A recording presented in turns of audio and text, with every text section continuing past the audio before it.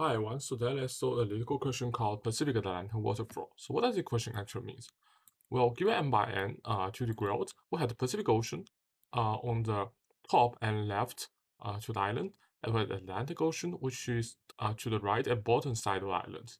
Well, the island is partitioned into a ground, a square cells, and cell value, uh, so represent height above the sea.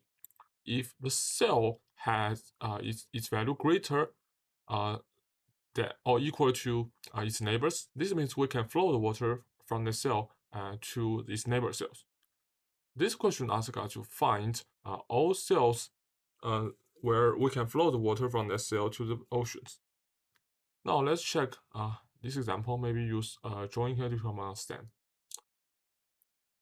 Okay, so you see here, we have the Pacific Ocean on the top we have Pacific Ocean on the left and the Atlantic Ocean uh, on the right and border boundary.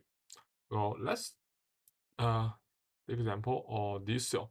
When this cell, if we traverse uh, top, we'll find, okay, this 5 is greater than this 3, right? So water can flow from this 5 to this 3. I also find, okay, this 3 is uh, greater than this 2, so water can flow from this 3 to this 2. And finally, find, okay, this 3 is near the Pacific Ocean, so water can uh, flow into the Pacific Ocean.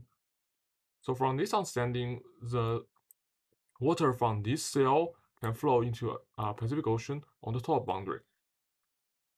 Now let's look at what works for the left boundary. May use a different color to help me understand. Okay, so again we studied uh, this cell again. We found okay this five is greater than this four, right? So we can flow water from this cell to uh, this cell. And then we found, okay, this 4 is greater than these 2, so we can uh, flow water from this 4 to this 2, and this 2 is near the Pacific Ocean, so we also can flow water into the Pacific Ocean uh, for the left boundary. Now let's check the right boundary. I use different color. And again, start at 5. You see 5 is greater than 3, so water can flow from 5 to 3, and 3 is greater than 1, so 3 to 1, and finally into the Atlantic Ocean. So the right boundary, we can see uh, water can from this zone into Atlantic Ocean. And finally, let's check the bottom boundary. Okay, so I use uh, this blue color. Starting at this 5. Okay, 5 is obviously greater than this 1, so we can flow. And here we check, okay, this 1 is equal to this 1. But we know if the height is equal, we can still flow the water, so the water can flow from this cell to this cell. Found this cell is near the Atlantic Ocean, so this cell will flow down to the Atlantic Ocean. So now we have found, okay, this cell can uh, flow both uh, to the top direction, left direction, the right direction, and the bottom direction. So it satisfies results, and we have to append uh, to, to our result array. Now we have gained some intuitions. Uh, let's think about how to solve this problem. If you have watched my previous video, you will know I would prefer depth search to solve this kind of problem, which is efficient and easy to understand. Well, our intuition is that, so let me use a graph drawing here. Well, we'll start uh, at both oceans. Uh, so the top Pacific Ocean, the left Pacific Ocean, uh, the bottom we have Atlantic, and right we have Atlantic Ocean. If we start both oceans and want to traversing back, right? For example, we traverse uh, to this ocean, uh, to these two, then to this 3, uh, then to this 5. Because we're traversing back, uh, instead of uh, decreasing height, we want the height to increase. Okay, so height should be increased along the way from the ocean uh, to the sea, or maybe we have uh, equal height is okay. If that case, we can uh, traversing back from the ocean to that specific cell. So in other words, means the water can flow from that specific cell uh, to the ocean. Okay, this is the intuition of depth search. Uh, now let's uh, dive into the coding part. Okay, so this code is relatively long. So uh, instead of writing line by line, uh, I will display all the code and explain to save your time. Now let's start at the helper function. As explained before, uh, we should use the depth search approach uh, for this kind of problem. Our intuition is here. We'll start at four borders. Uh, we'll check all the cells and neighbors if okay this cell neighbor satisfies requirements, uh, which means we can traversing back from the ocean to the cell's neighbors. This means water can flow from this cell to neighbors and to the ocean. And we want to append this valid cell uh, to our result. And now, uh, let, let's check how to write code. Well, first, we'll try the hard code definition uh, for the current height, which is the height at specific row and column. Well, why did we do that? Because uh, there's possibility that we'll violate the corner cases uh, in the later code.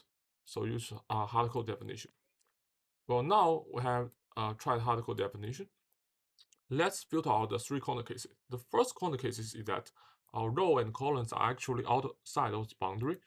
So if that is the case, we immediately return none. And the second case, uh, it found, okay, the height is decreasing from the ocean to the cell, which means uh, we have an increasing height from the cell to the ocean. If that is the case, uh, we cannot flow the water uh, from the cell to the ocean, and we also had to return none.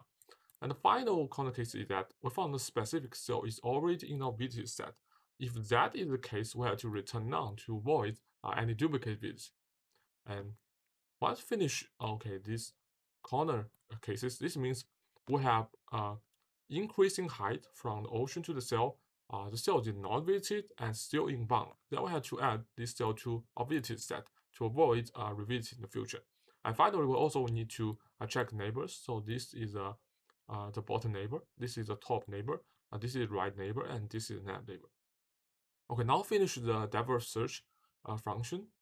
Uh, let's think about how to solve the main function. So I will temporarily hide this diverse search uh, function. And here's the main function. Let me uh, scroll down. Okay, so first we need a result array to restore all valid cells, and then we have to initialize a set for the Pacific Ocean and also the Atlantic Ocean, uh, so we can record the temporary results. And after that, also have to write the rows, uh, the total rows and total columns to save some uh, coding the later parts. And now finish initialization, let's think how to solve this problem uh, in coding. Well, first, as mentioned before, we have to check the top and bottom row. So usually the top row is Pacific Ocean and the uh, bottom row is Atlantic Ocean. So uh, for these rows, we want to traverse all the columns. Then want to call the diverse search function. So for the top row, we want to pass row and zero and pass this column. And then the VT set is Pacific Ocean because Pacific Ocean is on the top row. And then the height I should use in this row and column. And same for the bottom row uh, we want to use row minus one to indicate, okay, it's end row. And uh, this one, we should use Atlantic Ocean because uh, the bottom boundary is Atlantic Ocean. And then we'll pass these variables.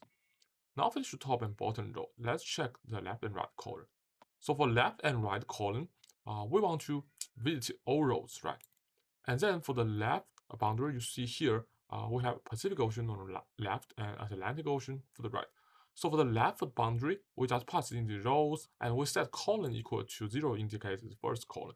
And then we pass Pacific Ocean and uh, the height. And for the right column, uh, we also inherit this row, but with a column equals column minus one to indicate uh, the last column. And then we set VT set equal to Atlantic Ocean and pass in the height. And once we finish all uh, top and bottom rows and left and right rows, want to see uh, which cell exactly match our requirements, so we have to append it to result, right? So to do this, we'll traverse every row and columns uh, in this uh, 2D graph. It found, okay, this specific cell is both in the Pacific Ocean and in the Atlantic Ocean. This means water can uh, flow from uh, this cell to both the Pacific Ocean and Atlantic Ocean, right? In this uh, way, we have to append this specific cell uh, to our result because it's a valid cell. And finally, we return our result, it should be done. Now let's submit the code.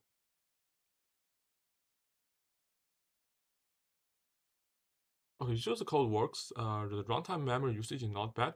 And I think uh, relatively this is easy to understand. Okay, you if you like this video, uh, please subscribe to my channel. Uh, and I'll see you next time. Thank you.